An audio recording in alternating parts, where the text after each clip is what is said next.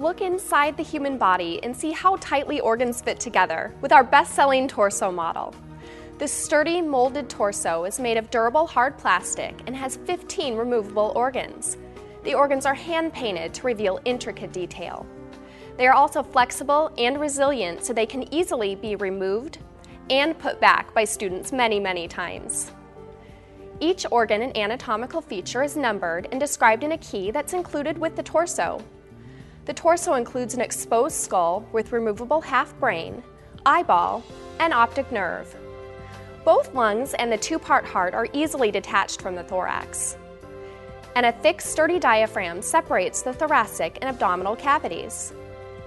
Within the abdominal region, the liver, stomach, small intestine, duodenum, pancreas, and kidney can all be removed in turn to reveal the posterior organs deep within the torso.